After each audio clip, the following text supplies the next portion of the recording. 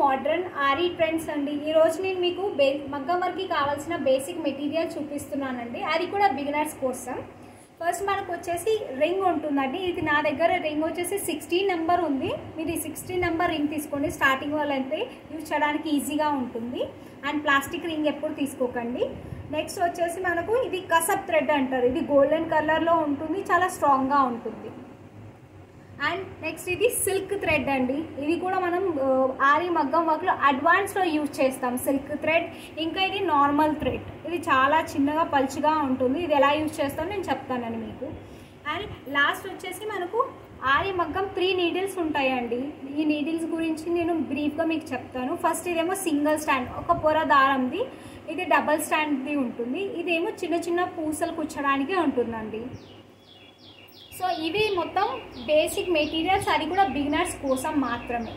మీకు నా కంటెంట్ కనుక నచ్చితే లైక్ చేయండి షేర్ చేయండి సబ్స్క్రైబ్ చేయండి అండ్ క్లిక్ బెల్ ఐకాన్ పైన క్లిక్ చేయండి ఫర్దర్ నోటిఫికేషన్ కోసం. And practice makes human perfect thank you